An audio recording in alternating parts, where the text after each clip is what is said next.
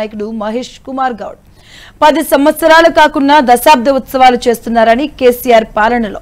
ఆయన కుటుంబం రాష్ట్రాన్ని కొల్లగొట్టారని తీవ్ర ఆరోపణలు చేశారు. ఇక హరితహారానికి పదకొండు వేల కోట్లు ఖర్చు చేశామని కేసీఆర్ చెబుతున్నారు. హరితహారం కోసం చేసిన ఖర్చులో డెబ్బై శాతం డబ్బులు దోచేశారన్నారు.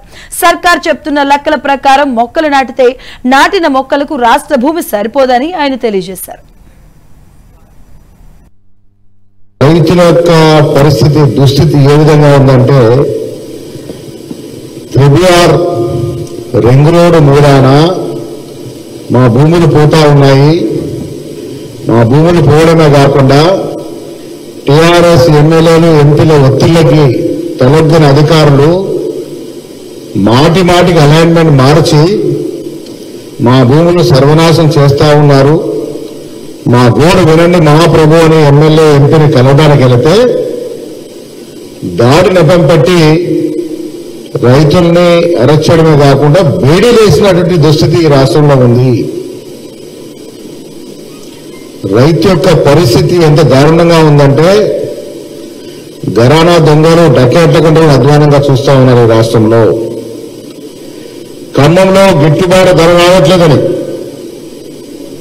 మేము పండించిన పంటకి న్యాయం జరగట్లేదని మిర్చి రైతులు ధర్నా చేస్తే అక్కడ కూడా గొరగొర గంజుకెళ్ళి రైతులకి వేడి చేసినటువంటి పరిస్థితి. ఈ రాష్ట్రంలో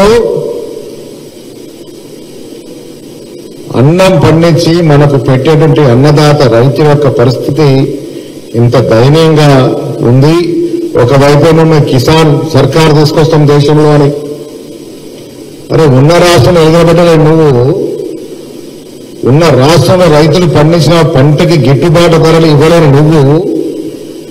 ఎన్నిసార్లు చెప్పాం ఛత్తీస్గఢ్లో వరదానానికి రెండు వేల ఐదు వందలు మా ప్రభుత్వం ఇస్తుంది ఒకసారి స్టడీ చేసినామంటే చేతకాని మీరు. మాటికి రైతులు కొంచెం గొప్ప చెప్పే మీరు ఇవాళ రైతుల పరిస్థితి రైతులకు వేడి చేసి రోడ్ల మళ్ళీ తింపుతా ఉన్నారు. ఇంకా మీరు దేశం కోసం మాట్లాడతారు.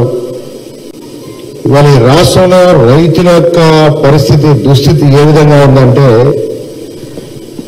త్రిబుఆర్ రింగ్ రోడ్డు మూడాన మా భూములు పోతా ఉన్నాయి.